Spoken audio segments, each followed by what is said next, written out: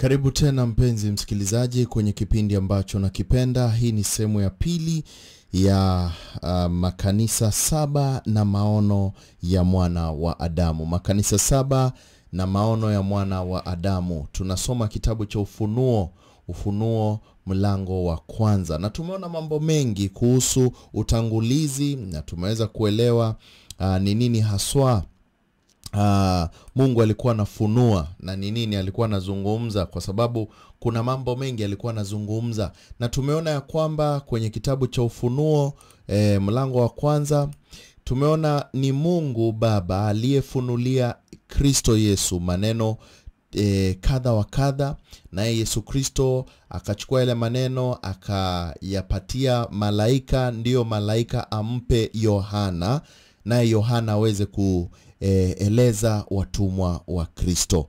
Kwa hivyo huu ufunuo ulitoka kwa Baba na ukapita kwa Mwana na ukapita kwa malaika ukapita kwa Yohana na kutoka hapo e, e, watumwa wa Kristo wakaweza kusikia, na tumesikia mambo mengi sana kwenye e, sehemu ya utangulizi, na sasa tumefika sehemu a, sehemu ya pili ambapo tunaona e, tunaanzia mstari wa kumi na mbili ambapo mambo ni mengi hapa. Mstari wa kumi na mbili tulikuwa tumesoma kumi na mbili na kumi na tatu lakini wacha nianzie pale ndio tuweze kwenda pamoja. E, pale e, tu, tu, tumeona Yohana, ameweza kusikia sauti imemweleza e, e, kuwa kile ambacho atacho, atakachosikia akiandike chini na apelekea hayo makanisa saba. Alafu anasema mstari wa kumi na mbili, nikageuka nione ile sauti iliyosema nami, na lilipogeuka niliona vinara vya taa saba vya dhahabu. I turned to see the voice that spoke with me, and being turned I saw seven golden candlesticks, vinara vya taa saba vya dhahabu. mm-hmm. Hiyo ndio ile inaitwa manora na katikati ya vile vinara nikaona mtu mfano wa mwanadamu. Amevaa vazi lililofika miguuni na kufungwa mshipi wa dhahabu matitini. Alright, kwa kizungu inasema in the midst of the seven candlesticks one like unto the son of man, mwana wa Adamu, clothed with a garment down to the foot and a guard about the paps with a golden girdle so amefungwa mshipi wa dhahabu matitini hapa kifuani. mm-hmm. na kichwa chake kichwa chake, tuende mstari wa 14. Kichwa chake na nywele zake zilikuwa nyeupe kama sufu nyeupe kama theluji, na macho yake kama mwali wa moto. His head and his hairs were white like wool, hmm. as white as snow and his eyes were like a flame of fire. Ai, hebona ule utukufu uko na Kristo na utakuwa na Kristo akirudi. Sijui kama unaona huo utukufu. Na kumi na tano inasema na miguu yake kama shaba iliyosuguliwa sana, like unto fine brass. Okay? Fine brass ile, yani fine ile imesuguliwa sana. Unaona vile shaba iki, ikioshwa vizuri ng'ae vile inakuwa brass, kana kwamba imesafishwa katika tanuru, as if it is burned in a furnace, na sauti yake kama sauti ya maji mengi, his voice as a sound of many waters. Huu ni utukufu wa hali ya juu. Ndugu yangu, huu ni utukufu wa hali ya juu. Hebu tuone tena mstari wa 16 unasemaje? Naye alikuwa na nyota saba katika mkono wake wa kuume na upanga mkali wenye makali kuwili ukitoka katika kinywa chake, na uso wake kama jua liking'aa kwa nguvu zake. He had in his right hand seven stars and out of his mouth went a sharp two-edged sword and his countenance what is, was as the sun shines in his strength. Mwonekano wake wa uso uling'aa kama vile jua inang'aa kwa nguvu zake zote kumbuka hata huu mwonekano kumbuka vile eh, eh, anaitwa nani eh, simon peter na wale sons of zebedi wale wa- wa- wa- watumwa wa mungu wengine wawili walikuwa in the mountain of transfiguration mahali yesu kristo aliweza kugeuzwa mwonekano wake. Na unajua maandiko yanasema so ukiangalia kitabu cha mathayo kinazungumza kuwa yesu uso wake uling'aa kama jua na nguo zake zikatoa nuru iliyokuwa nyingi sana na hiyo transfiguration najaribu kuiangalia na hapa naona kuna vitu vinalingana. Kuna vitu vinalingana. Na nikana kwamba kama sisi tuko ndani ya kristo na kristo yuko ndani yetu I'm also thinking that uh, pia sisi wenyewe tutakapokuwa transformed. Kumbuka maandiko yanasema kuwa tutafanana na kristo. It is high possible highly possible tutaweza pia tukakuwa transformed tukakuwa ni kung'aa kung'aa. Kwa sababu kumbuka tutapewa miili mipya. Kama ile tuliambiwa ile mwili ule mwili ambao kristo aliamka nao alifufuka nao. Mwili ambao ulikuwa wenye uh, glorified na ulikuwa na, na ile mwonekano mzuri. Tutakuwa na mwili kama huo. Na hebu imagine a million people billion people kutoka sehemu zote ulimwenguni wote wanang'aa kama jua. Ai ndugu yangu. No wonder yesu alisema msishindwe mnadanganywa na watu eti eti yesu ameonekana pale ameonekana pale. Kama jua ing'aavyo upande mmoja na inaonekana mpaka upande mwingine ndivyo mwana adamu atakuwa wakati atakavyorudi. Kwa hivyo wewe kama uko ndani ya kristo na kristo yuko ndani yako be rest assured you will shine like star. Enda uangalie kitabu cha eh, danieli kumi na mbili. Kinasema vile sisi tutang'aa kama jua. Na vile vile kristo tunaona hapa tayari anatuonyesha picha.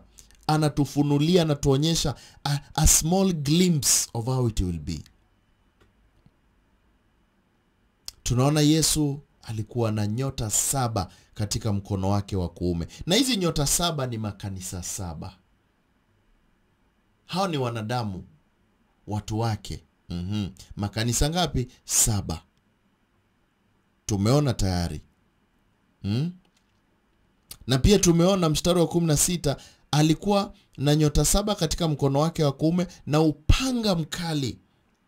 Kumbuka bibilia inasema neno la mungu ni upanga ambao unakata kuwili so alikuwa na neno lake ambalo litakuwa limekuja pia kufanya kitu kinaitwa hukumu. Kuhukumu ulimwengu. Sababu ni neno lake ambalo linaweza kuhukumu. Na ilikuwa na makali kuwili. Ukitoka katika kinywa chake. Hiyo ni neno lake. Hmm? hiyo ni neno lake na pia tumeona miguu yake ni kama shaba iliyosuguliwa sana kana kwamba imesafishwa katika tanuru na sauti yake kama sauti ya maji mengi. Many waters could it be?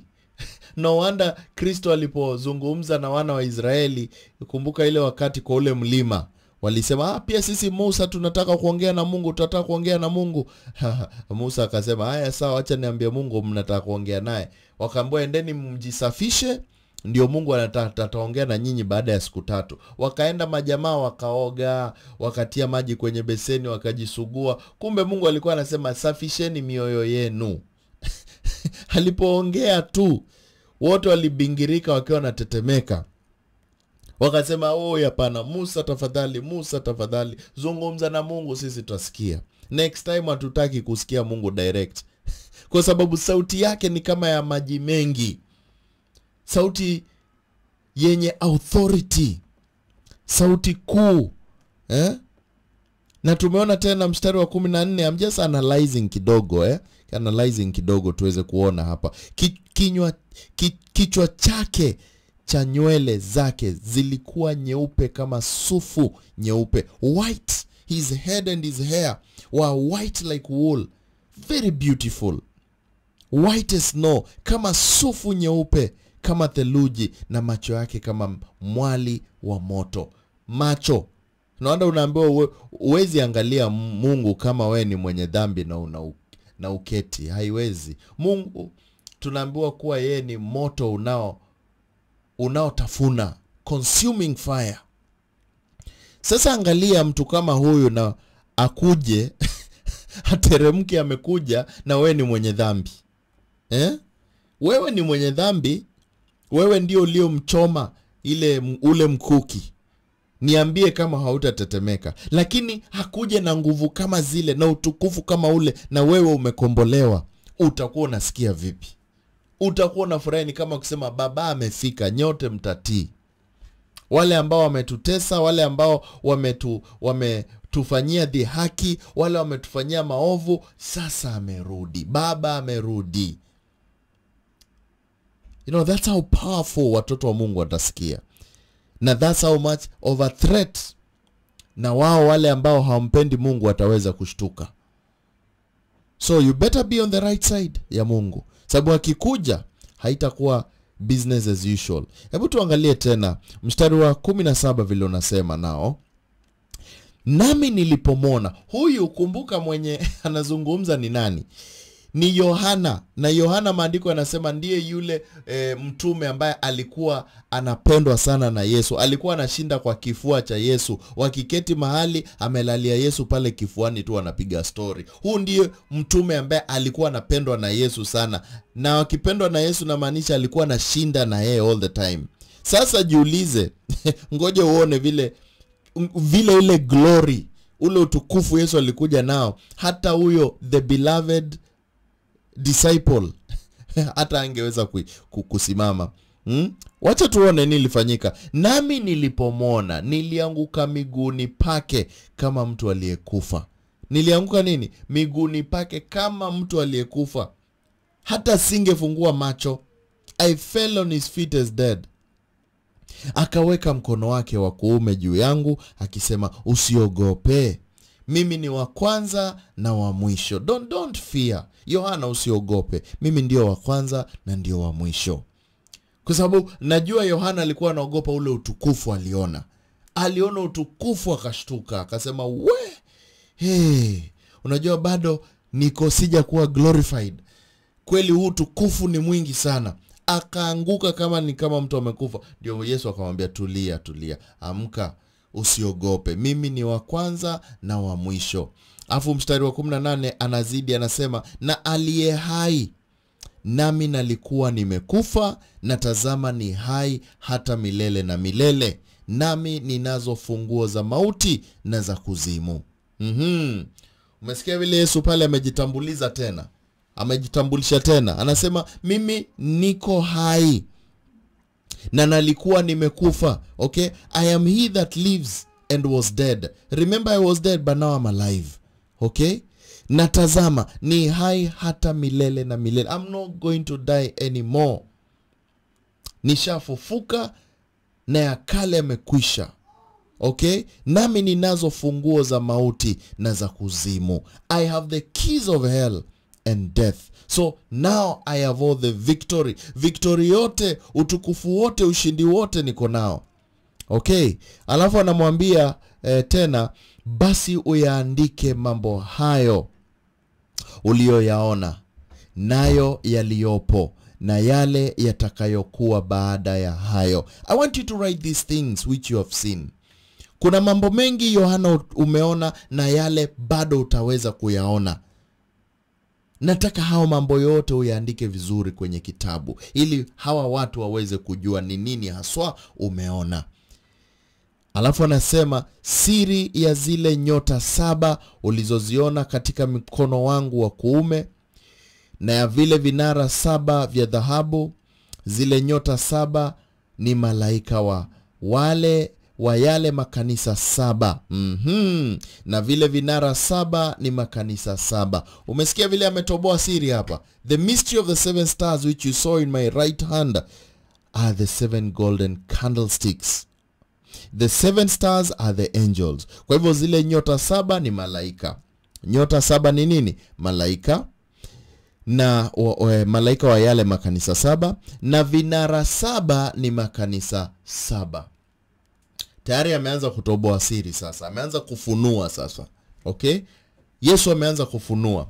Na ndio tunaona huu ufunuo wa yohana ufunuo huu ambao tunaambiwa it is very important for every christian. Kila mkristo ni vizuri ajue.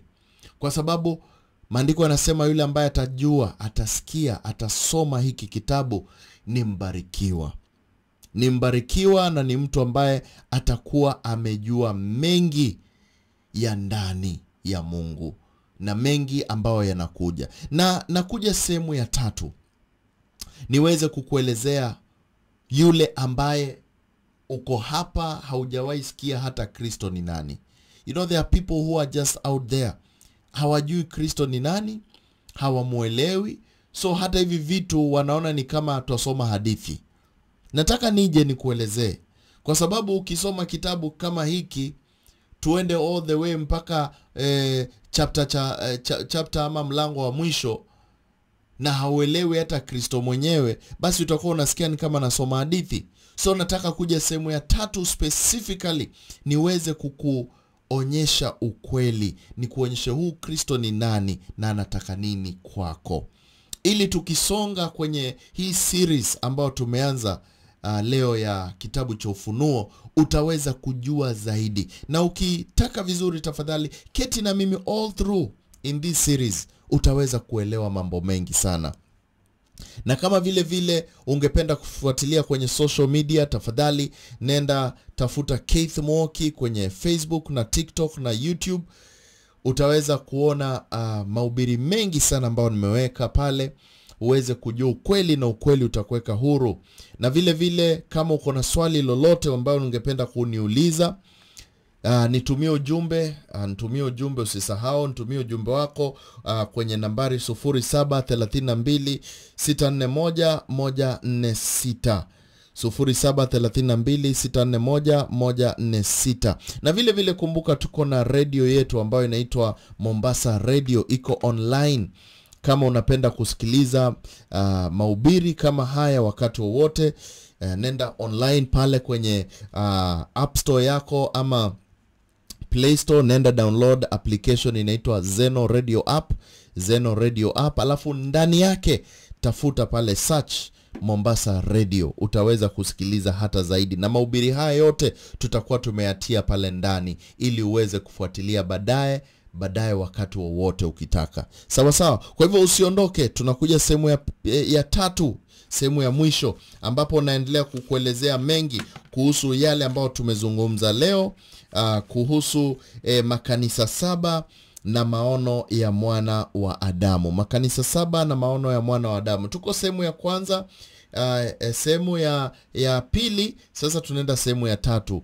ya kitabu cha ufunuo mlango wa kwanza. Kwa hivyo usiondoke sehemu ya tatu inarudi hapa hapa